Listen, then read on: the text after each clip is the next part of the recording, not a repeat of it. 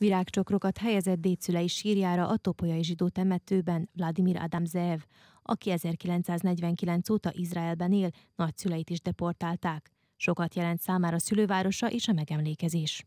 Nekem ez nagyon sokat mond az, hogy itt van minden évben azért, ha jövök Szerbiába, mindig ebbe az időben jövök, hogy itt legyek. Ma jöttem az unokáimmal, ma jöttem a barátaimmal.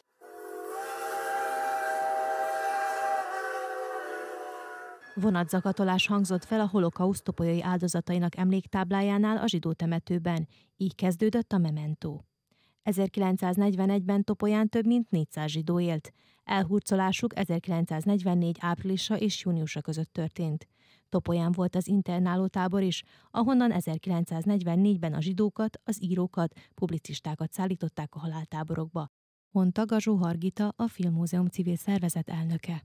Ezen a mai napon kiválasztottunk egy zsidó írónak és publicistának, Debreceni Józsefnek a regényét, a hideg krematóriumot, hiszen abban pontos leírást ad arról, hogy milyen volt ez a topolyai internálótábor. Ő végigment ezen, tehát topolyára ide hívták el őt, aztán vitték tovább különböző táborokba, és ő, mint túlélő, utána meg tudta írni ezt a regényt. A megemlékezésen Szatmári Adrián, Topolya polgármestere kiemelte, a közösség feladata, hogy minden évben megemlékezzenek a holokauszt áldozatairól, és a békére törekedjenek, hogy soha többé ne fordulhasson elő a holokauszt borzalma.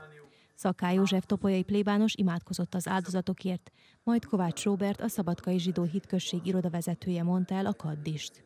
Ha elfogadjuk azt, hogy az egész világban egy nagy körforgás van, hogy minden visszajön, az ő hamujuk valahol biztos visszahullott már erre a mi földünkre, valahol kihajtottak azok az új zöld levelek, amikbe beleépültek ők, és az az emlékezet, ami Topolyán és a többi városban, ahol valamikori zsidókra, valamikori zsidói hitközségekre, a múltjukra, a hagyományukra, arra emlékeznek, amit tettek akkor, annak a közösségnek, és amit most ugye a mostaniak fejlesztenek, remélve, hogy jót akarnak tovább, ez csak bizalommal tölt el bennünket. A Magyar Nemzeti Tanács, a Topolyai Önkormányzat képviselői és az izraeli, valamint a topolyai megemlékezők elhelyezték a kegyelet virágait a temető bejáratánál található emlékműnél.